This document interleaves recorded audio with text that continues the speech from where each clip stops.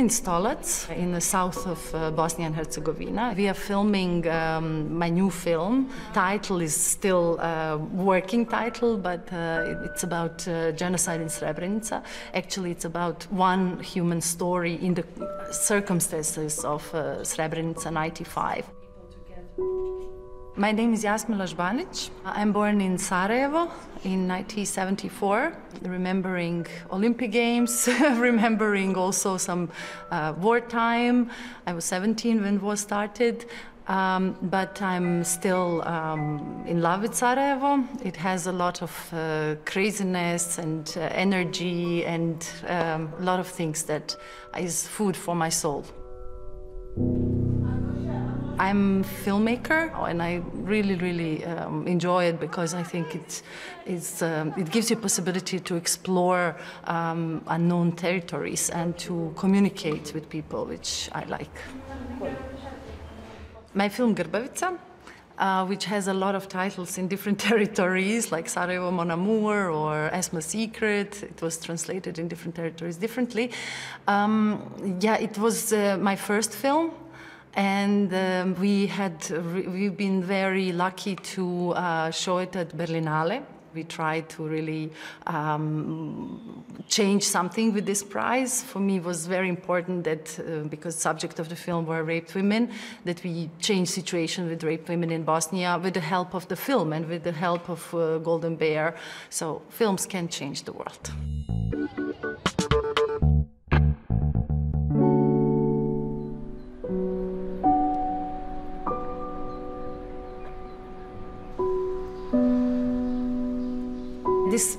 Film for Square, um, I was um, really happy to had this opportunity to do this film um, because it gives um, uh, freedom to explore things that um, if you have a scripted material, maybe you wouldn't explore so much.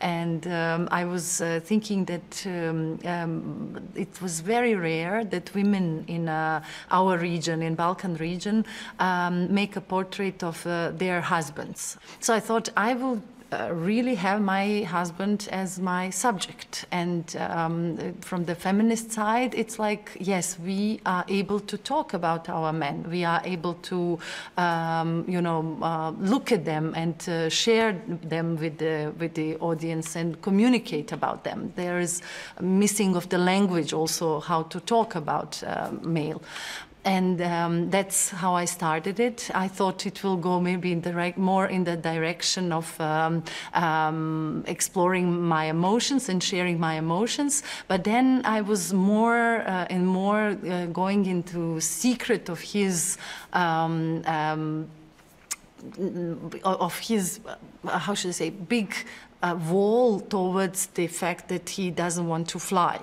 Many people don't like to fly, and many people have um, different kind of phobias. But I really thought, okay, this film, and of course it was with his permission. He said, okay, let's explore. What is it? This film is very personal, but it also um, uh, explores something which many people here share, um, which is consequences of war. Why they, you know, the war and fear that people had during the war uh, are transformed into something else for a lot of population, but for male especially, it is a big issue uh, and they are not talking about stuff and then stuff is getting more and more complicated.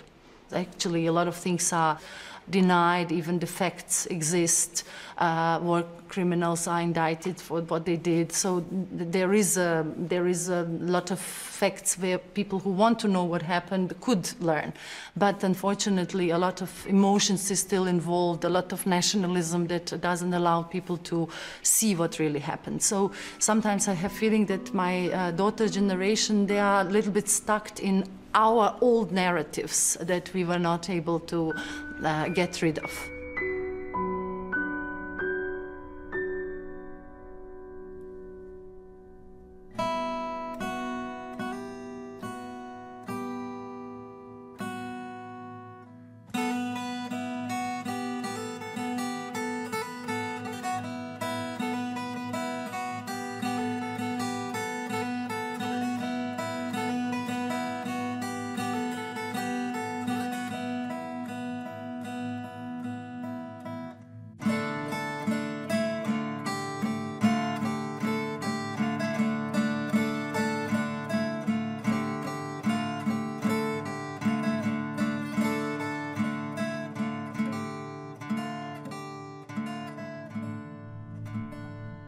Sada zamislite da se nalazite na ulazu u kino.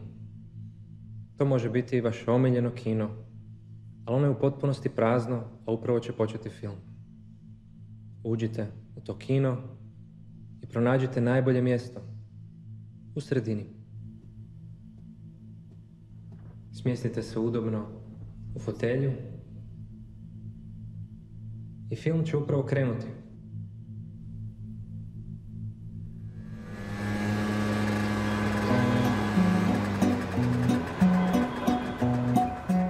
Damir i ja smo se upoznali u skloništu. Bila je 1992. godina i upravo je počela opsada Sarajeva i rat u Bosni i Hercegovini koji će trajati četiri godine. U toku rata Damir je bio u odbrani Sarajeva kao vojnik jedinice Lasta. Ja sam studirala režiju, a nakon rata oboje smo se počeli baviti filmom. On kao producent, a ja rediteljica. Vjenčali smo se 2000. godine i imamo 18-godišnju kćerku Zoe. Danas radimo zajedno, putujemo zajedno, pravimo filmove, ali problem nam predstavlja što se Damir nakon rata jako boji svih zatvorenih prostora i ne leti avionom.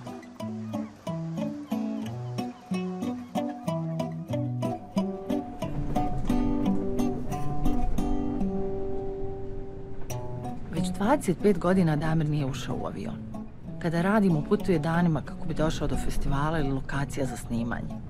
Stalno ga nagovaram da potraži stručnu pomoć, ali kao tipični balkanski muškarac Damir odbija. Smatra da će se problem sam riješiti. Ali problem ne nestaje.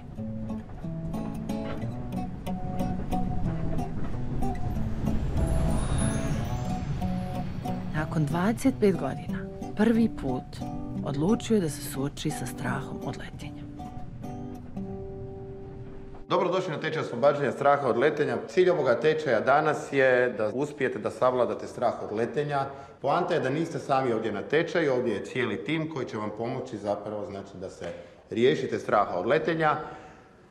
Minimalno da savladate da možete ući u avion i poletiti, a maksimalno da zapravo kompletno savladate strah od letenja. Niste sami, tu smo za vas i bitno je da aktivno sudjelujete u tečaju. Ja sam u kontaktu sa ljudima sa ove radionice, ja mislim, zadnjih pet godina i oni organizuju tečajeve oslobađanja straha od letenja možda tri puta godišnje. Ja sam zadnjih pet godina s njima u stalnom kontaktu, svaki put se dogovaram da ću doći, onda svaki put nađem neki razlog ili izmislim neki razlog da ne dođem. Ali sad sam tu na tečaju, na kursu, sad ću da probam. Ne znam da li ću ući u avion, ali evo tu sam. I to mi daje negdje mogućnost neke slobode da mogu odustati.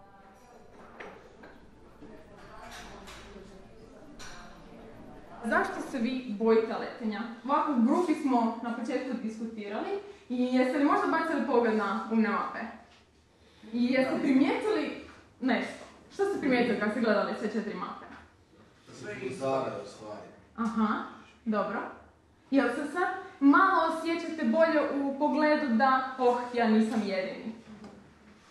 Kad razmislite da je vas tu 20 i da svi ste sa istim strahom i svima vama prolaze iste stvari kroz glavu. Znači, pod broj jedan vi niste nenormalni, vi ste sasvim normalni ljudi koji se jednostavno boje iz nekog razloga, a ti razlozi su poprilično slični.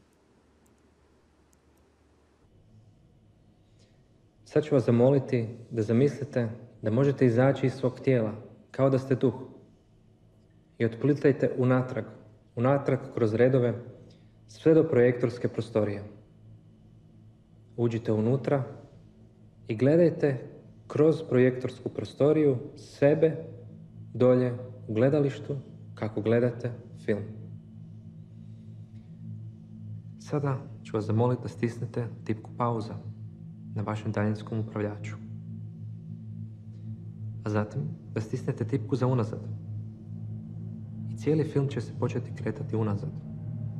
Ljudi će govoriti unazad, avion će letiti unazad, ljudi će hodati unazad, stvari će ići unazad. Sve do početka. Do one prve slike s kojom ste krenuli u film.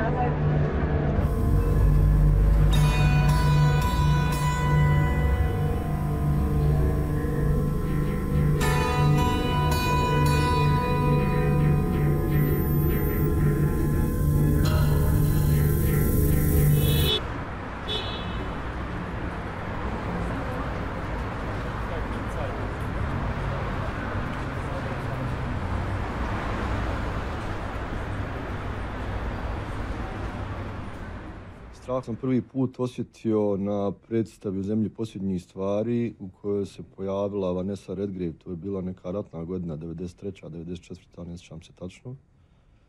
Bila je vrlo brzo nakon nekih vrlo teških akcija u kojima sam učestvovao, u kojima su neki od mojih prijatelja izgubili glavu gdje je bilo vrlo ono pitanje hoćemo li ostati tu zarobljeni, pobijeni i onda poslije toga sam došao u Sarajevo, malo se smirila situacija.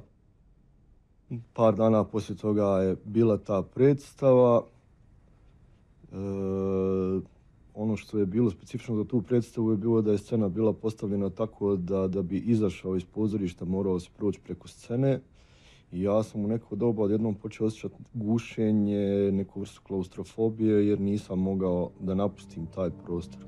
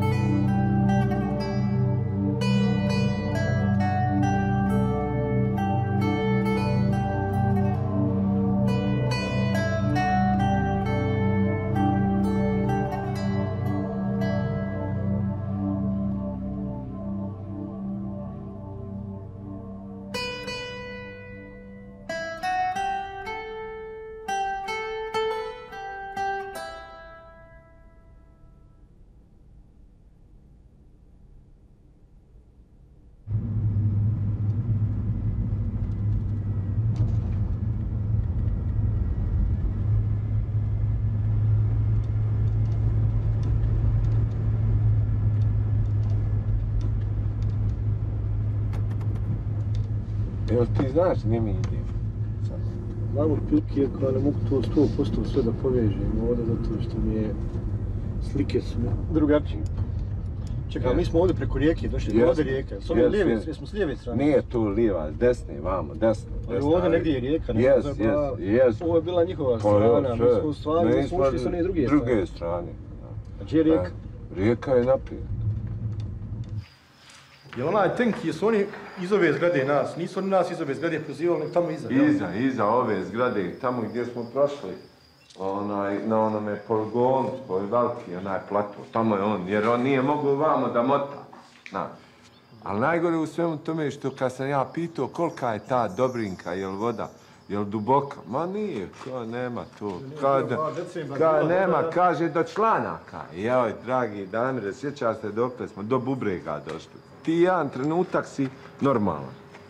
Normalan, sjediš, pričaš sve sa Fadlom, svojim komandirom, znaš, normalno, sjediš, ponudiš ga cigarom, daj da zapalim ovo. I onda drugi trenutak imaš u ustima zemlju. I samo kažem, Fadle, ja sam ranjen, kao on i ja sam. Ja nisam mogao ni rukama, ono, vidiš da su mi ruke bile sve razvaljene, ono, i oba dvije, ova pukla, ova pukla, prst, vidiš kakav je, nema. Nos, razvaljen, zubi, no, oko ovdje, na, ono, bi da je ispalo, ali nije. Peta je bila gdje su prsti, a prsti gdje je peta, ono, za 180 stepeni, ono. Meni je tad bilo 93. znači imao 21 godinu. Samo sam razmišljao da, da mi noga ostane, da mogu igrat loptije, da mogu voziti biciklo, da mogu neke, neke normalne dječje snove, ono što se u, u, u, u, u tom trenutku razmišlja. Šta si razmišljao? Nisi razmišljao o smrti. Tek kad se je završilo ono 90, koja je to bila? Peta. Šesta, šesta, tako Šesta. nešto. Ja, tam mi je bilo ono frka zatvorenih prostora, tržnih centara, liftova, visine, ne znam. Sad mi je to manje, ali me zajebava to što ne mogu avion i to mi za posao me ono koči pravo, a i za život isto. Onaj, a mimo toga, ne, mislim, nemam nešto sad osjetio. Znaš šta bi Mislim, kako, bio- ali to sam vidio kod pravo puno raju u Sarajevu, nije samo ja, ja sam nevezano sad jesu bili u vojsci, ne vojsci, pravo sam puno ljudi vidio koji imaju problem sa onaj, kako pričam svoj problem, onda vidim da i pravo puno imaju tu vrstu problema upravo tu. A mi za to ima i sa zatvorenošću grada i sa četiri godine u tome. Pa vjerovatno.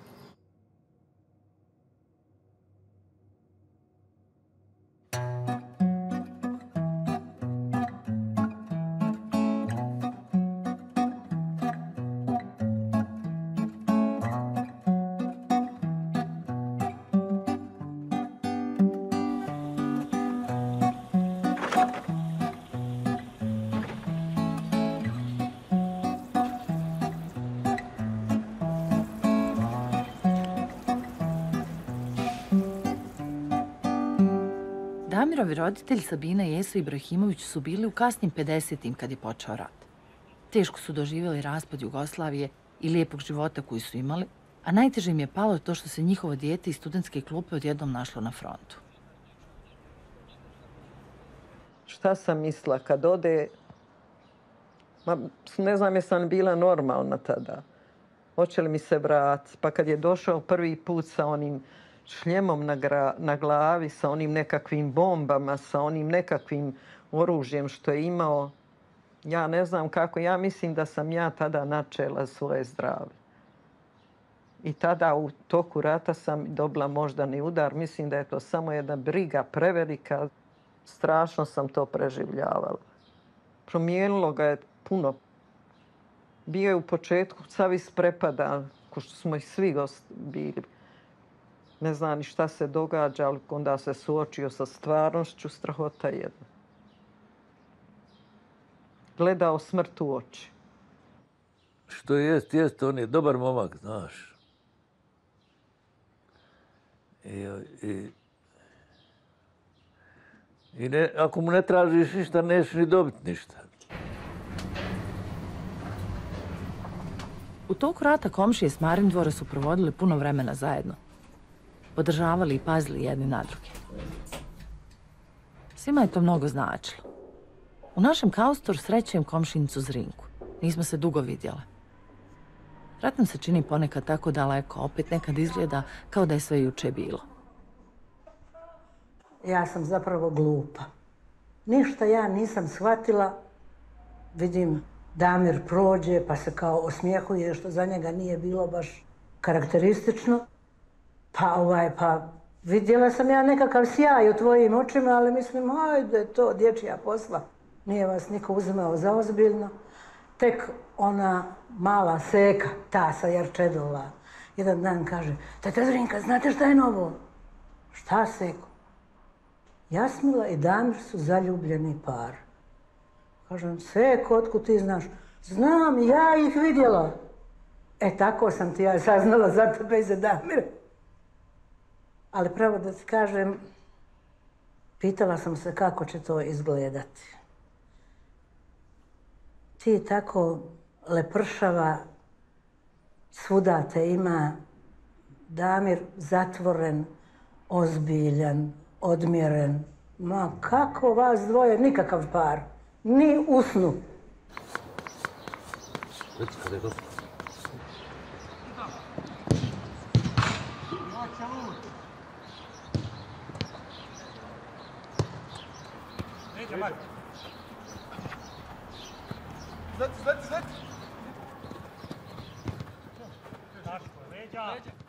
svake sedmice igra futbal sa svojim prijateljem, a našim kumom Nedžadom zvanim Čombe.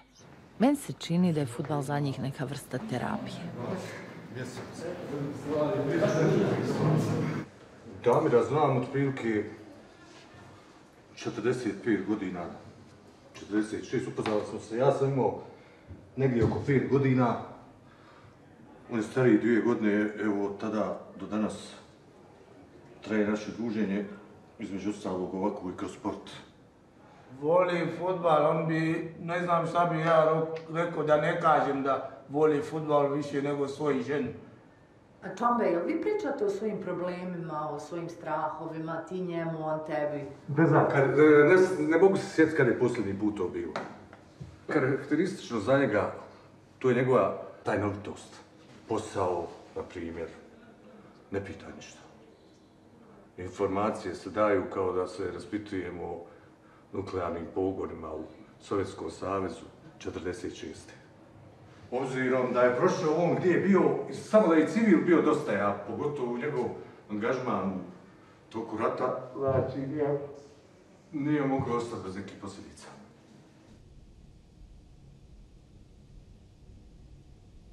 Prvih 90 sekundi će odlučivati od otprilike 80 do 90% kako će se to završiti.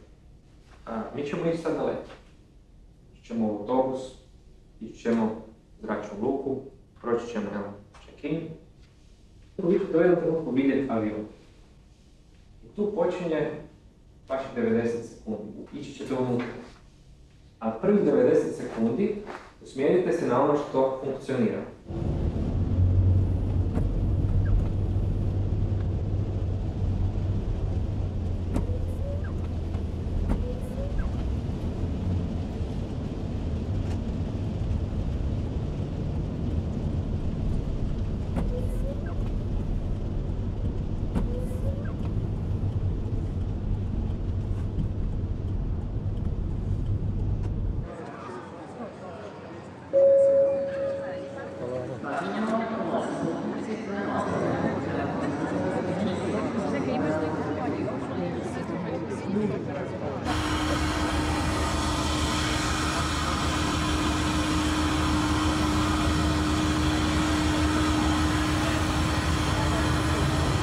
Trener u suradnji s tečajem oslobađanja straha od letanja na letu Zagreba.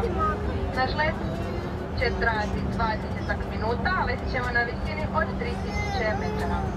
Molimo vas da prije poljećenja vežete vaše sigurnosne pojaseve, uspravite naslone sjedala, sklopite stoliće pred sobom, spuštite rukohvate i zatvorite zastore na prozorima. I sigurnosni trak za uporabu elektroničkih uređaja dopuštena isključivo u zrakoplovnom radu.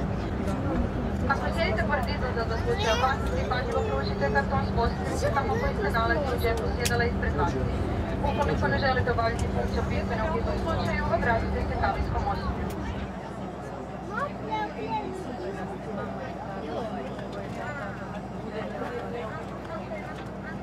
Poštovani putnici, dobili smo odobrenje za poljetanje. U idućih 10 sekundi e, poravnašemo se sa osi piste 05 i krenuti sa sekvencom. Kevin Crow, prepare for takeoff.